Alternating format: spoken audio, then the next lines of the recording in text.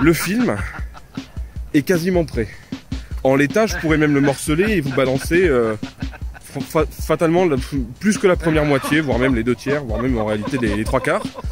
Je le fais pas pour des raisons artistiques, pour des raisons personnelles, parce que ce serait sale, que c'est pas ce dont j'ai envie. Et, et en, au passage, on, est, on a déjà euh, une trame de fond pour la suite qui s'appellera Fake On. Là, je vous la tease. Ah mais Clément, euh, c'est con, euh, t'es con de reteaser alors que tu l'avais pas. Ouais, bah oui, bah je dis ce que je pense, voilà, je vous emmerde.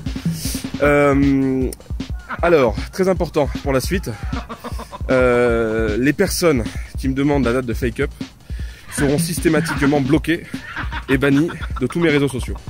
Voilà, c'est simple, c'est limpide, c'est clair comme de l'eau de roche.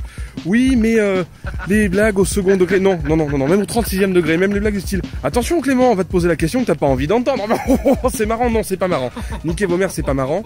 Euh, J'en suis à deux doigts de la psychothérapie, j'ai une charge mentale monstrueuse, je suis euh, sur le point de me faire virer de chez moi parce que les théâtres sont restés fermés pendant un an, les cocos, et que j'ai dilapidé toutes mes économies depuis mes 15 ans pour survivre, alors que j'ai pas un niveau de vie excessif. Pensez pas que c'est le monde de la nuit, les artistes, et qu'on dépensiers. Hein. Ce manteau vaut euh, 70 balles, hein, donc pensez pas que c'est quelque chose de, taré euh, que je vis. Mais, euh, mais voilà, dans, l'idée, euh, là, ouais, je, décompense un petit peu. Donc ceux qui ont l'âme généreuse euh, pour Noël euh, sont parfaitement libres de, faire euh, ce qu'ils ont envie de faire. Et euh, si vous voulez euh, balancer un, un type ou un truc euh, comme ça, vous, vous, êtes libre. Je, je fais pas ça à tous ceux qui pensent que c'est de l'appel à l'émotion, de presque de la mendicité, de l'appel au don, et que Fake Up sert pas pour ça. Oubliez, oubliez. Hein, J'ai pas besoin de l'argent pour Fake Up.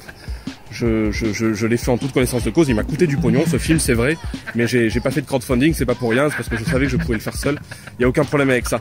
Euh, en revanche, j'ai des beaux projets pour 2022 qui arrivent normalement et pour lesquels je solliciterai peut-être votre aide un jour.